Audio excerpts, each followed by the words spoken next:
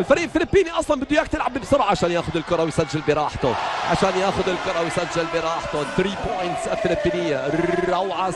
ترجع. Strong Group الفلبيني على ال offense اللي بيعمل دفاع منيح بيكون عنده open shot على الهجوم. wow. روعة. فرانسيس جابرييل. على ال rebound. مايرون لاعب جيد. اللاعب الجديد للوحدة لاعب جيد.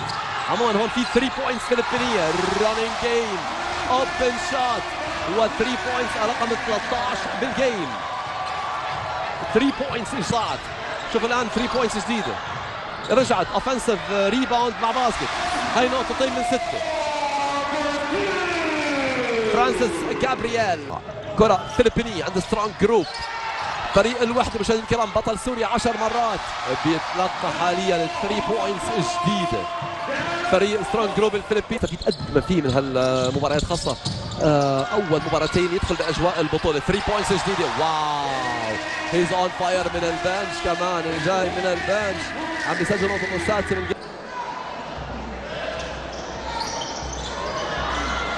برافو!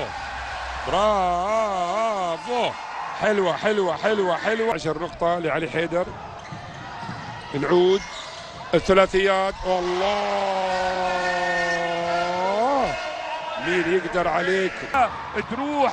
أوهو أوهو. هذا مور. برافو. ثلاثيات!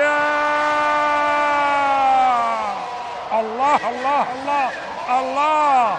على هذا الأداء على هذا الاستعراض